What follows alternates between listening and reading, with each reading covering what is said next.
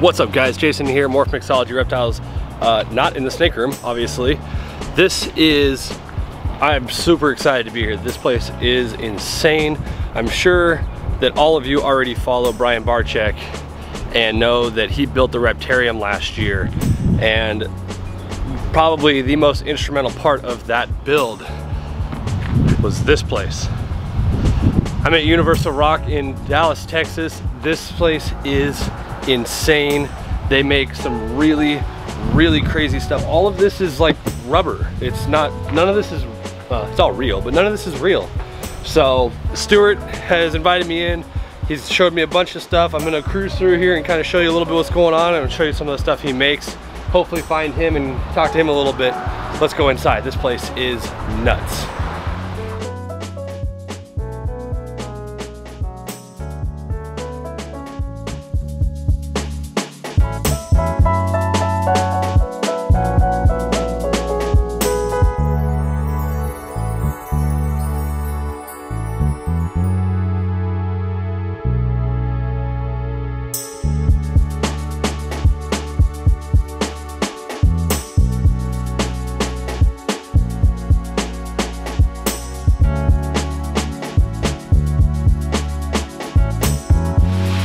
Guys, so the crazy thing about this place is uh, Stuart told me that everything that you will see, with the exception of any live animals, they have made.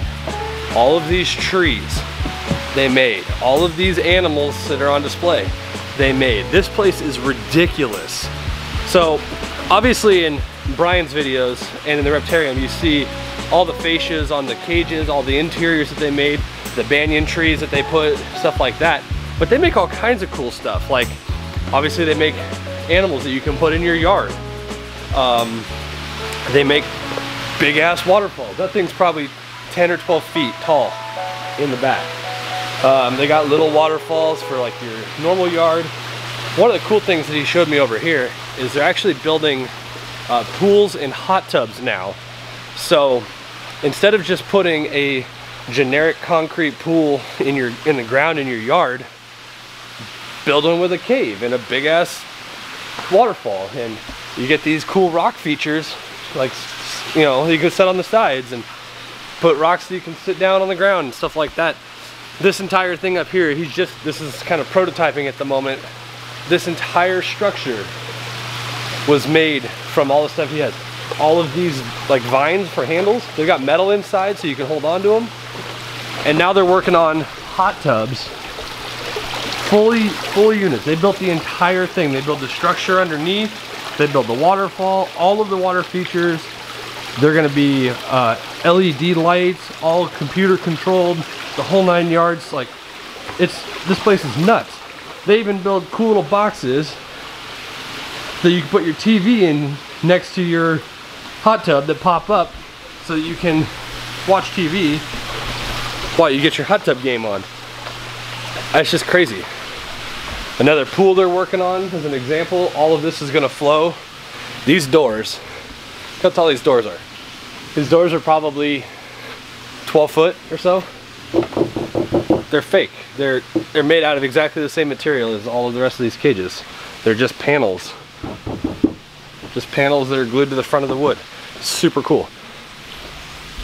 Hey, look it, I found an animal. So obviously Stuart didn't make this, but really, really pretty red iguana here.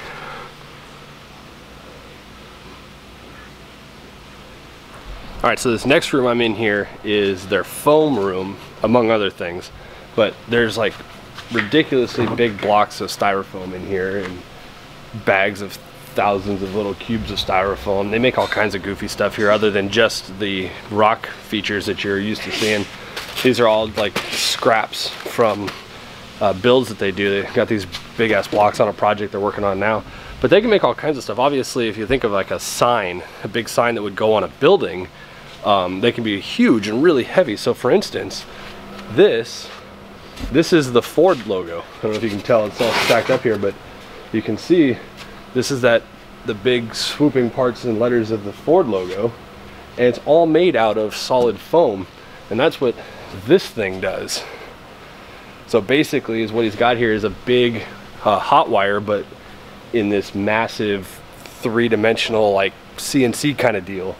Um, and so anything that you can dream up on a computer in 3D that fits within the parameters of this, they can cut. So like that sign, among other things. So he's actually getting ready to cut something now. Um, unfortunately not crazy exciting, but it's still pretty cool. Let's see how this works. It's, see, it's just a, just a hot wire and all it's doing is melting a small cut out of the out of the foam.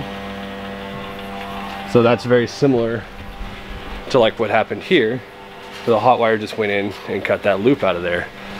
So it makes some really cool stuff here. There's all kinds of shapes up on the shelves that they've created I'm gonna talk to him about maybe making a 3D martini snake about six foot tall how would that be so I want to show you guys too um, that was a real simple cutting that he had to do but I showed you that Ford, uh, that Ford logo, but it's kind of hard to see. That one's actually really big. He's got another one here that just came out of the paint booth. Um, this one's much smaller. This one's only about four or five feet long. But you can just see the, the intricacies of how detailed, you can see for scale here, how detailed these pieces are. And being the hot wire, you, uh, you can really cut just about anything you want um, in, in all three dimensions. So so for those guys that watched Brian's videos building those those cages with the, the locked together pieces, that actually happened over here. He's got a big CNC machine that cuts all that stuff out. Lots of material, acrylic, PVC. They get PVC like it's paper around here. We can't get anywhere close to Montana, but so that's where all that stuff. This this shop is massive, and they build all kinds of cool stuff here. Um, these are a lot of these are molds. This is not all of them. He's got Stuart told me there's like 800 different mold SKUs of things. So he goes and, you know, makes a, an alligator mold like so, and then he saves it so he can make alligators, you know? Sorry if it's kind of bright out here, guys. It's obviously Texas sun.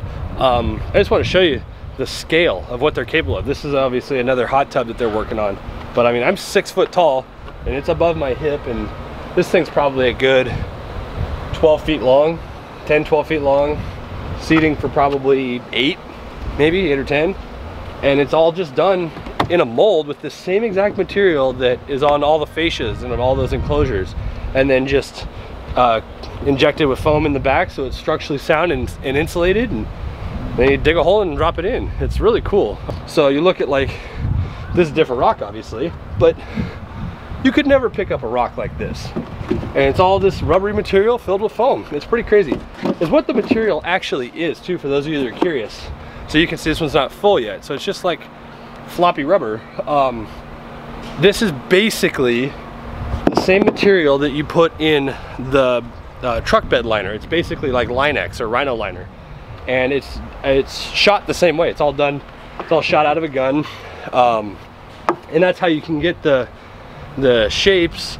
So you can see here they make they make these panels. So this would be like for doing the backdrops of something, or like Brian did, wrapped it around the uh, the trees and around the walls and stuff. So it's all flexible because it's not made real thick, real thick.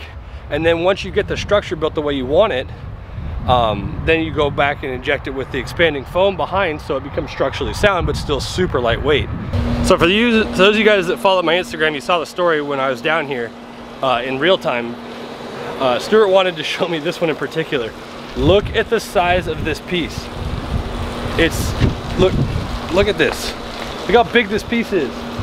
It's huge, it's so intricate. There's like a little bench down here you could sit on. You got like, I mean, for a, for a massive, if you had like a 15 by 15 massive snake enclosure with like a 10 foot or 20 foot retic in here, this would be super rad. All these different terraces, but the, the the detail is just crazy. It's hard to explain. Um, and I was telling Stuart the problem is, you know, you watch all of Brian's videos, you watch this video and that, it you really can't convey the the the totality of what all this is on a video. It's so hard to see, but here's the part that you're not supposed to see, the secrets, you know. It's real simple. It's just multiple layers of this thin foam stacked up or glued together or screwed together, whatever, and then injected with foam behind it. You know, it all starts kind of like this. So it's really cool. Um, if you're ever down here in the Dallas area, I, I definitely suggest you come by and check this place out. It, it's almost overwhelming, honestly, the scale at which you could do, uh, you can get creative, like trees, you know, just branches that are empty in case you want branches across the back of your enclosure. And um, we're talking about doing some really cool stuff for our our setup at home and setups down the down the road. So. All right, so it might be kind of loud as I walk around in here, but we're in one of the storerooms here. Uh, there's a lot of, this is where a lot of the product is, um, and a lot of molds. I got molds everywhere. Like I said, there's like 800 SKUs that he has for repeatable stuff. And then they make just random, random rocks and things. Like if you wanted, uh, if you wanted just a little rock to put, I'll show you here later on another project, but like here, rock B in gray. You want little rocks for your enclosures. They make them in bazillion different sizes, you know? And you, you think about uh, the ability or the, the usability for this stuff. You can make really cool water dishes. This one's just a rock, obviously, but you can make really cool water dishes. But you think about it, since the stuff is rough and like a real rock, as it would be in in nature, you know, it's going to help the snake shed. They can rub up against it. They can, uh, they, yeah, it's just, it's super cool. This stuff is just, it's just fascinating. I mean, here's more vines.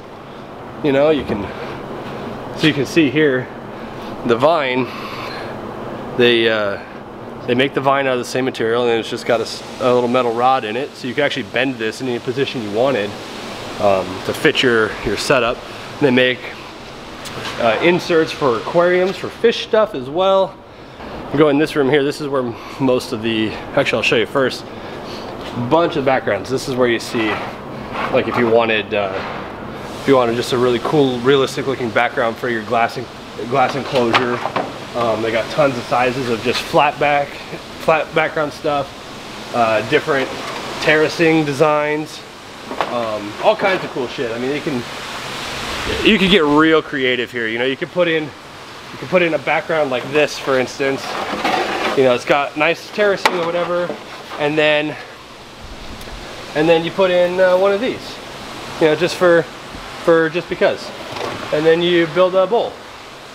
You know, I might have to get one of these. This is cool. I don't need it yet, but we're hoping to put some enclosures in the snake room that, for the bigger animals and that. And a bowl like this would be, be super cool. Look at that, it's like a dog bowl you could have like uh, water and food and so just really really in sometimes you pick something up you're like I don't know what that's for but I bet I can figure out something for it here's those river rocks like I was talking about you can imagine how big a rock this size would weigh you know so it's really neat because it's not all just rock stuff they do a lot of acrylic work a lot of they build tanks for fish and um, just all kinds of insane stuff obviously all the foam work so Let's see what they're building out over here.